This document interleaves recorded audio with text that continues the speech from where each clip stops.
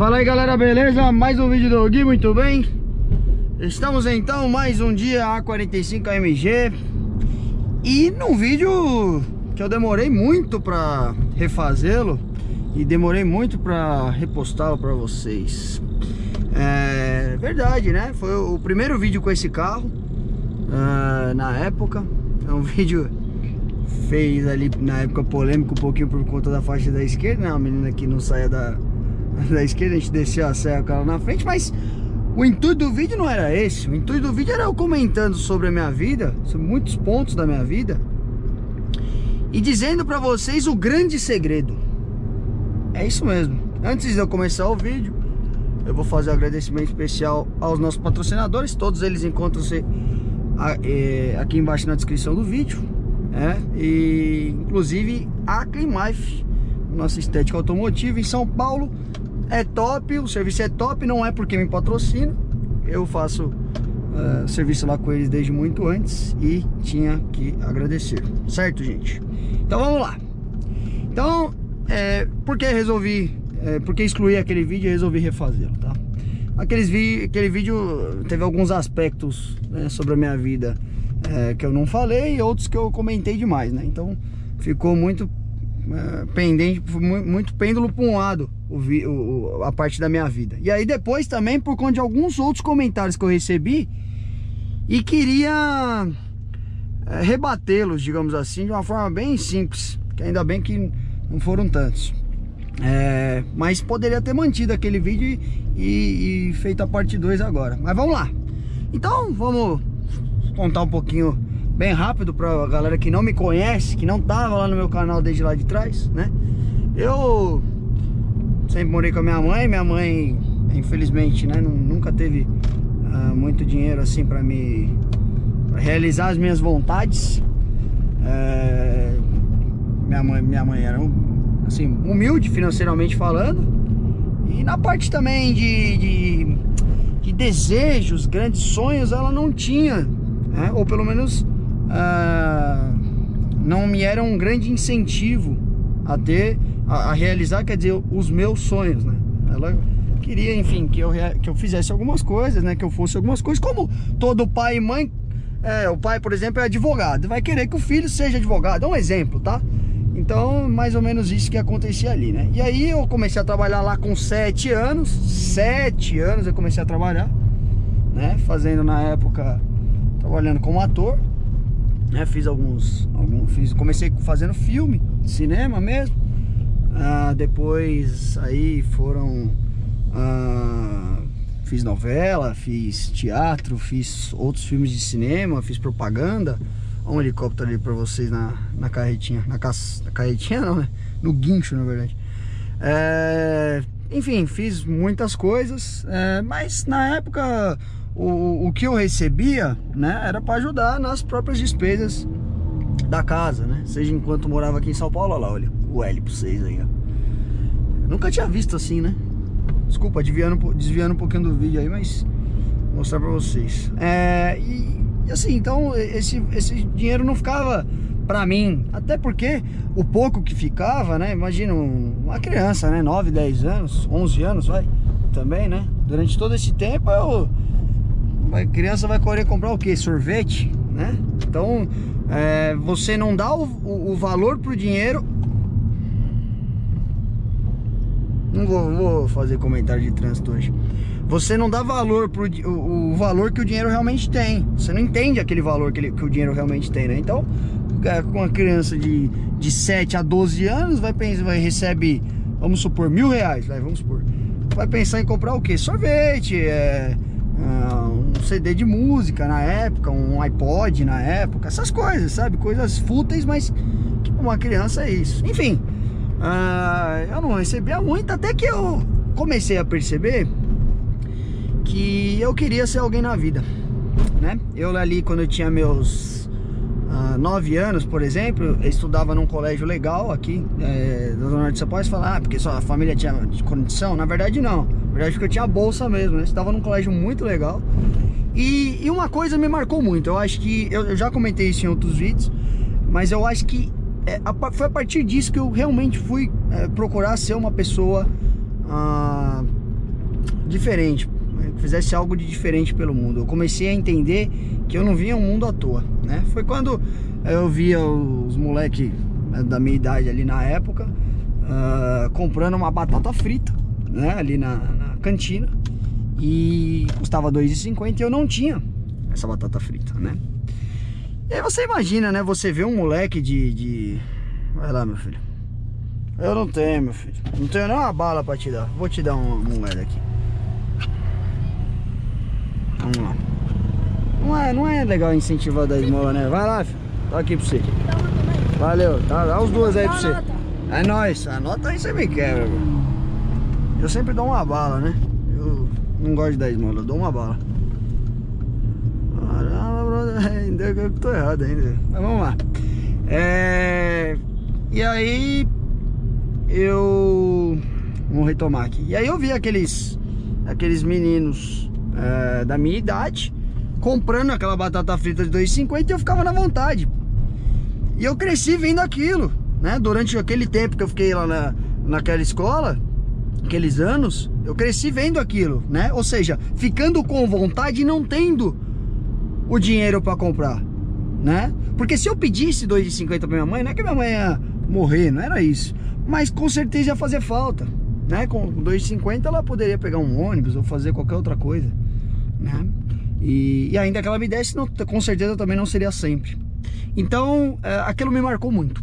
Né? Aquilo, uh, eu passei vontades que, que eu não, não desejo para ninguém, não desejo para nenhuma criança, é, principalmente para uma criança, né? Acho que para um adulto ainda é um pouquinho mais entendível, mas para uma criança é difícil entender tudo aquilo.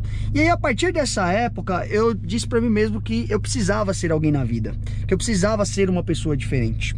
Desculpa, essa introdução ficou um pouco longa, vamos lá, vamos me adiantar aqui no vídeo. E, e por exemplo, né, eu sempre gostei muito de moto, desde muito pequeno. Eu sempre gostei de moto. E eu sabia que a minha mãe nunca me daria uma moto. Né? Isso, minha mãe podia ser milionária, ela nunca me daria uma moto. Então eu fui atrás de conquistar coisas na minha vida. Ali em 2011, com 13 anos, uh, depois aí de uma série de coisas que não dá para detalhar tudo agora aqui, mas uh, sozinho montei uh, um site, né? Na época não era uma empresa, porque eu não tinha idade para ter um CNPJ. Montei um site de análise de crédito. Uh, e aí fiquei uh, muito tempo sem ter um retorno, né? Inclusive meu primeiro cliente levou mais de um ano. É, demorei bastante para ter o primeiro retorno e, fui ter aí depois de quatro anos que eu posso dizer que, que eu fui ter algum retorno. Mas durante todo esse tempo, enquanto os moleques da minha idade aproveitavam as férias, sei lá, viajando, fazendo algumas coisas, né? Nas, férias ali, nas minhas férias ali de 2012, né? Porque eu, eu montei isso em agosto, setembro de 2011, né? Comecei em agosto, terminei em setembro. É, nas minhas férias de 2012 eu passei divulgando o meu site, né? Então, enquanto passei praticamente um mês inteiro com o meu corte fechado divulgando o meu site. Ou seja, eu plantei ali atrás, né? Porque se você não plantar ali atrás, vai ficar meio difícil. Eu plantei ali atrás, hoje eu colho resultados. Mas não, é, não, é, não foi isso não, não ficou por isso.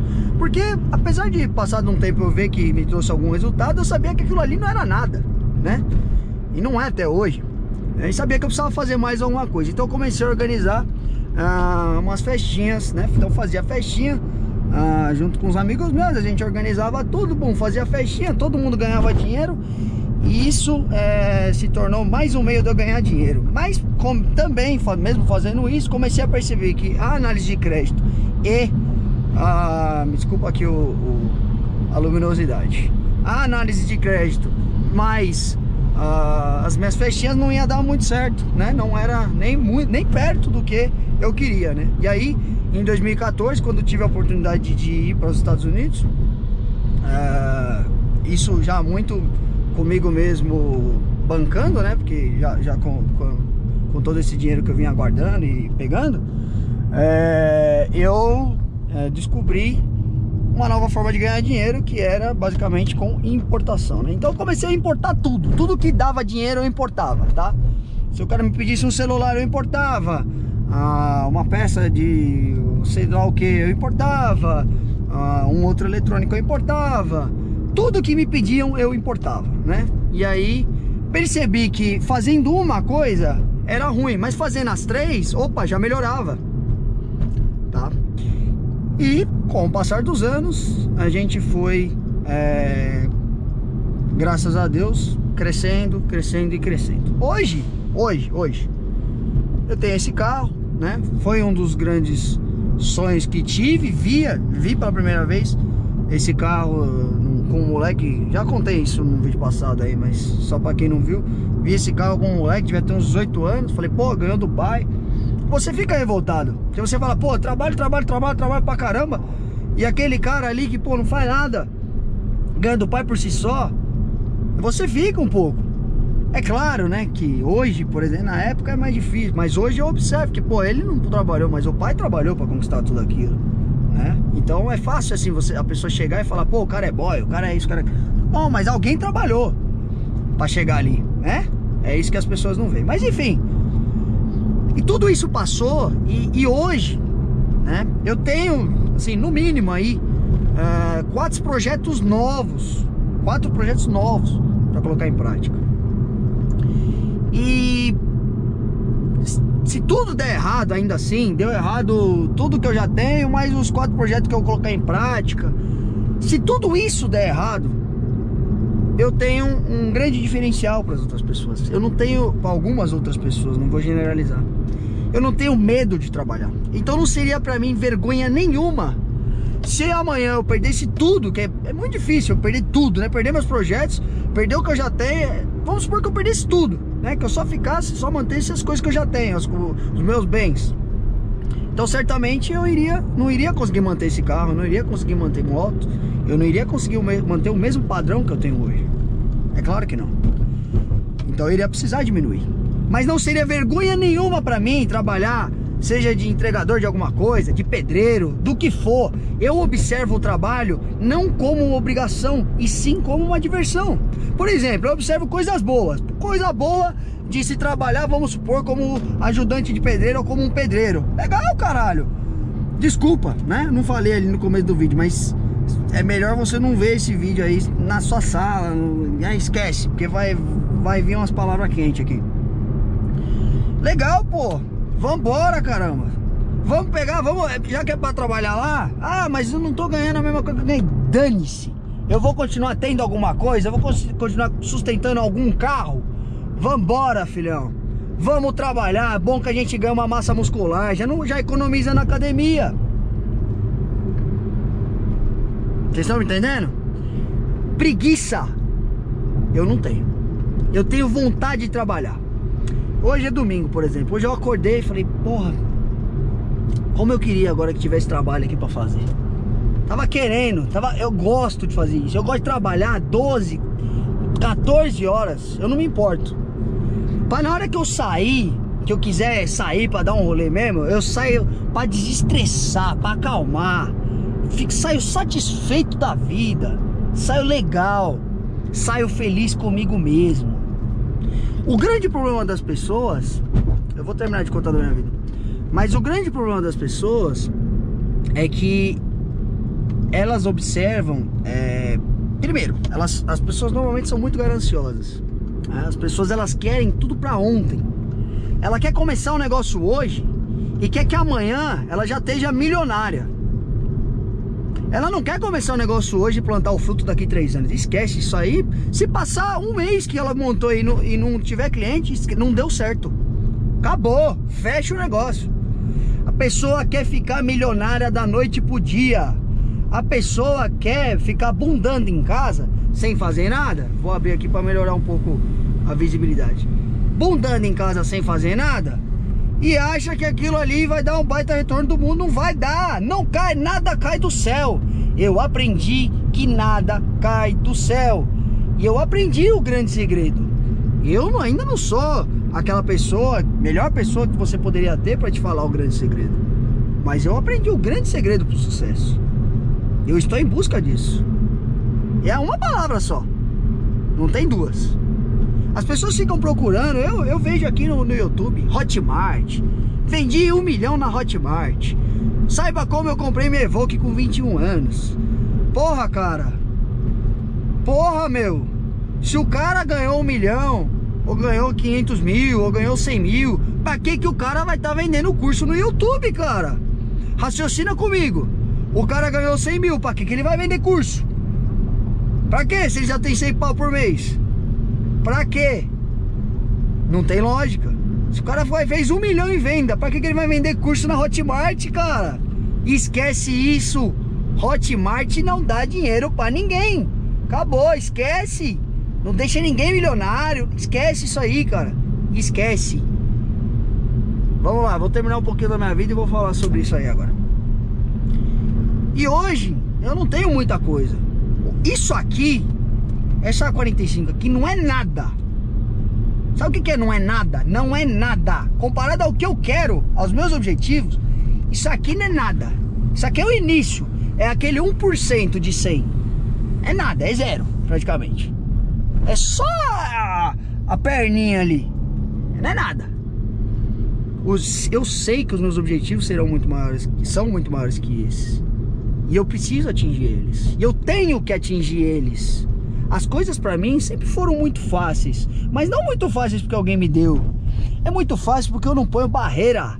Eu não falo, puta, isso aqui, nossa, que trabalheira que vai dar para fazer isso aqui. Meu Deus, isso aqui eu não vou conseguir nunca.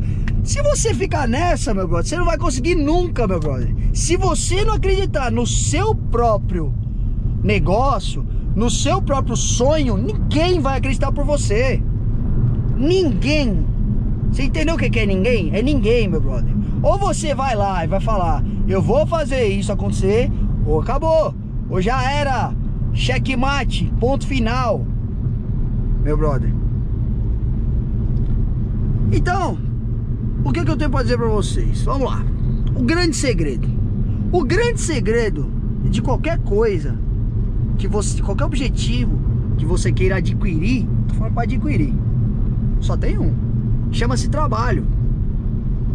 Esse é o grande segredo. Que te vendem, eu te dou aqui de graça. O grande segredo que te vende, grande segredo pro sucesso. Como é que você tem sucesso? Trabalhando, meu brother. Ou você trabalha, ou não vai cair do céu. Deus não vai vou descer aqui na terra e falar: Ô oh, meu filho, vem cá que eu vou te dar um cartão ilimitado aqui pra você, ó. Você vai gastar até o final da sua vida. Tá aqui, ó. A senha tá aqui. Não vai. Esquece, não vai acontecer isso aí. É bem simples, meu brother. Ou você faz acontecer, ou não vai cair do céu. E aí eu vou. Eu vou falar mais uma coisa, né? Que é por causa disso que eu refiz o vídeo. Recebi muito, mas muito, muito comentário. Não, porque você fala isso, mas você nasceu numa, uma, num lugar legal. Você nasceu numa família estruturada, de cabeça. Por isso que você hoje consegue fazer isso. Por isso que você tem essas coisas. Alguém te deu. Vamos lá. Primeiro, ninguém me deu nada. Ninguém chegou pra mim, ô oh, meu filho, vem cá, vem aqui, vem aqui, vem cá. Papai, vem cá. Papai vai te dar um carrinho aqui, ó. Que carro você quer? A45, ó. Vai lá na concessionária, tá aqui o dinheiro, ó. Todo seu. O que, que você quer? Uma moto? Tá aqui, ó. Um quê? Um celular? iPhone? iPhone, você quer? Tá aqui, ó. Vai lá comprar. Pega, o cartão aqui do papai. Isso aqui não, não teve comigo. Não rolou pra mim. Nada contra com quem rolou, mas eu tô falando isso de mim. Não rolou pra mim isso aí. Então como é que eu fui atrás? Como é que eu... Ou melhor, como que eu iria ter a minha vida? Ou eu iria ficar me lamentando a vida inteira porque eu não tive um papai que chegasse pra mim, oi filhinho, vem cá que o papai vai te dar um negócio. Ou eu iria ir lá conquistar, ir atrás, ir atrás do meu, literalmente falando, e acreditar nas minhas coisas. Eu escolhi pela segunda opção. Ah, mas você teve tudo, você teve família boa. Meu brother, o cara que falou que é negro, ah, mas esse aí foi um só, mas esse aí eu preciso, eu queria, eu queria ter salvo o, o, o comentário, cara. Vai pra puta que pariu, mano. Eu não sou de falar palavrão no meu canal, mas vai pra puta que te pariu, cara. É isso que você tem que ouvir. Vai pra puta que pariu, mano. Antes de você falar qualquer merda dessa, pesquisa aí no Google. Pesquisa, põe no Google aí, Geraldo Rufino. Põe o nome desse cara, lê a história do cara, lê da onde ele veio e lê quanto ele fatura hoje. E vê se tem alguma semelhança com você, seu imbecil. Meu brother, lugar da onde você vem, sua cor, ou o caralho que seja, não muda quem você é, meu brother. O seu caráter, a sua determinação, a sua força de vontade. Isso aí não muda com, seu, com sua cor de pele. Não muda com onde você veio. Não muda. A amizade influencia? Influencia se você tiver cabeça fraca. Se você tiver uma cabeça que não consegue sair daquilo. Eu, por exemplo, eu, eu, Guilherme, sempre andei com gente que fumava ou usava droga. Sempre. E eu não sou fumante e nunca usei droga. Olha que engraçado. E sempre andei. Os caras me ofereciam, pô, não vai aí, aí, ó, uma baseadinha aqui, ó, pega aí, pô, dá um che... E eu quis? Não quis. Eu não quis, meu brother. Falta de oferecer não foi. Mas eu não quis. É muito simples. É sua determinação, é sua força. Ah, mas eu nasci na favela, eu nasci não sei aonde. Meu brother, é o que eu falei. Lê a história de Geraldo Rufino. Lê! Lê a história do cara. Eu vou deixar aqui na descrição a, a matéria sobre ele. Lê! Tira a sua conclusão, depois você vem falar. Lá na empresa, por exemplo, o Biel foi com certeza o meu melhor, sem desvalorizar os outros. Os outros sabem que não. Mas o Biel fazia tudo lá. E o Biel era negro. Tudo. Tudo, muito mais que qualquer branco. E aí? E foi a primeira pessoa que eu chamei pra trabalhar comigo. E que merda de diferença isso fez? Nenhuma. E se fez diferença foi pra melhor, não foi pra pior. Então para, cara. Isso aí de, de negro é coisa que colocam na sua mente. É coisa que falam de você. Hoje em dia, as coisas. Linda Porsche Carreira. 900. Inclusive, acho que essa é a mesma do, do vídeo da moto. As coisas que falam pra você sobre negro e, e etc. Meu brother, grande parte disso são coisas que colocam na sua cabeça. Hoje em dia, serviço, produto, não tem mais contato direto. É tudo online, meu brother. É tudo e-mail, é tudo WhatsApp. Não tem mais nada direto. E outra, mesmo que haja direto, o cara, se ele tá comprando de você um produto ou um serviço, ele não quer saber se você é negro, se você é branco. Ele não quer azul, pardo, roxo, cinza, amarelo. Dane-se. Nada muda. Isso não muda. Muito simples. A primeira grande. Primeiro grande negócio que eu fiz, eu tinha 16 anos, né? Eu fui emancipado. E aí com 16 anos eu fechei um contrato legal com uma, uma grande empresa, eu não vou comentar nomes aqui. E eu sentei lá na, na sala, com, não vou dizer a, a, mesa diretora inteira da empresa, mas grande parte da mesa diretora da empresa me impus com 16 anos e comecei a falar com todos eles. E aí quando a gente já tinha assinado, porque a gente assinou, fechamos o contrato, aí um dos diretores de lá chegou pra mim, você parece ser novo, quantos anos você tem? Eu falei 16. Ninguém da mesa acreditou. E que merda fazia a porra da minha idade? Nenhuma, nada. Não muda você ter 16, você ter 18, você ser negro, você ser branco, você ser parte, você, ser, você ter 30, você ter 40. Não muda. O que muda é a sua determinação, é a sua força de vontade, é o que você pode oferecer para as pessoas. Meu brother, se você não acredita no seu projeto, foi o que eu te falei, ninguém vai acreditar. Mas eu acredito no seu projeto. Se você pensar com você mesmo, se você tipo, pensar com você mesmo, parar um pouquinho, pensar com você mesmo, isso aqui é uma coisa que dá certo. Isso aqui é o que eu vou apostar minhas fichas. Se você pensou isso e tem certeza disso, você tá ouvindo da minha boca, eu Guilherme eu tô te falando isso. Vai dar certo depende exclusivamente de você próprio. De mais ninguém. Se ninguém te deu aquele apoio, eu tô aqui para te falar. Você vai conseguir. Mas isso depende de você, meu brother. Não depende mais de mais ninguém. Esse vídeo ficou longo, hein, cara. Eu pensei que esse vídeo fosse ficar bem curto. Mas é isso aí. Então, o grande segredo pro sucesso, eu não, não cheguei lá. Eu não cheguei ainda nos meus grandes objetivos. Um dia eu ainda vou chegar na Avenida Europa aqui e comprar minha Porsche 911. Pode ter certeza. Eu queria até achar uma aqui, ó. Tipo aquela ali, ó. Aquela verde ali. Mas não verde, né? Verde eu acho meio... Uma outra, uma outra cor. Podia ser uma dessa que tá aqui na minha frente. Não liga não. Eu prefiro a 911 Turbo, mas... Pode ser a carreira S, sem problema. E eu sei que eu vou. Não é, um, não é sonho. Você não veio aqui para ficar sonhando. Você veio aqui para colocar seus sonhos, transformar eles em realidade. Você não veio aqui para sonhar, meu brother. Você veio aqui para transformá-lo em realidade. Então, por favor, transforme. Eu acredito na sua ideia. Se você tem certeza que aquilo vai dar certo, eu tô aqui para te dar aquele apoio que faltava. Se ninguém te deu aquele apoio, eu tô te falando que isso vai dar certo. Mas só depende de você. Então, por favor, faça acontecer. Para finalizar, nunca pensei que eu diria isso, né? Mas foi a mais pura verdade. Eu vou ser sincero com vocês, nunca gostei de ler livro. Eu gosto de ler muita notícia, matéria, jornal, mas livro nunca foi muito chegado. É, porém, posso dizer que esse, esse livro foi o melhor presente que eu já ganhei na minha vida. Sabe o que é o melhor presente que eu já ganhei na minha vida? É isso. E foi esse livro. E eu, porra, li esse livro duas vezes. Eu tenho certeza que vai ser o único livro que eu vou ler duas vezes na minha vida. Não vai ter mais nenhum livro que eu vou. E vou ler mais uma ainda. Mais uma, mais dez, se Deus quiser. E eu recomendo isso pra vocês. O Segredo. Cara, pega esse livro, baixa esse livro se você não tem dinheiro pra comprar ou se você não acha. Baixa esse livro, lê esse livro, entenda o livro. O Segredo. Entenda.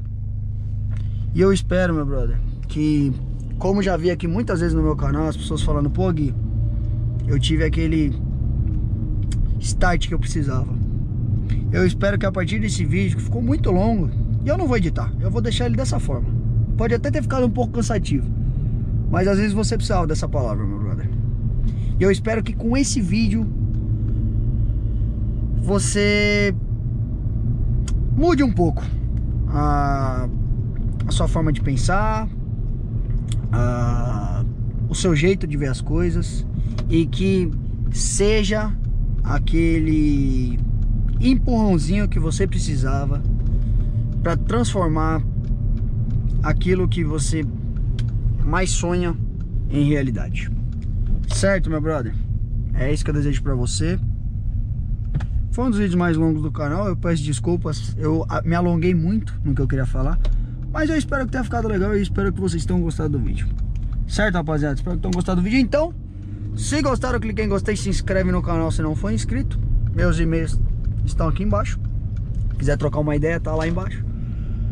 Fiquem com Deus, valeu, um forte abraço. É nóis. Até a próxima. Valeu!